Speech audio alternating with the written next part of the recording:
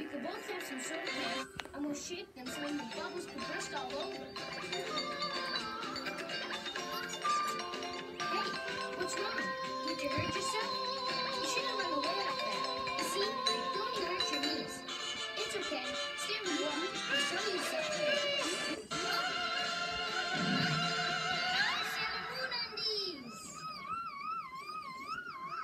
Danny, stop that right now!